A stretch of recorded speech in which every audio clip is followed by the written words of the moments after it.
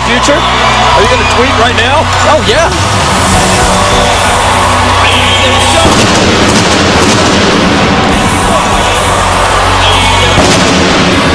It is Ghana, West Africa, weighing 221 pounds. Is the United States champion, Kofi Kingston. Ladies and gentlemen, tomorrow the world's savviest criminal turned FBI agent is back. Don't miss the season premiere at 9, 8 Central on more information, go to whitecollar.usanetwork.com. And again, we are joined at ringside by Dolph Ziggler and Big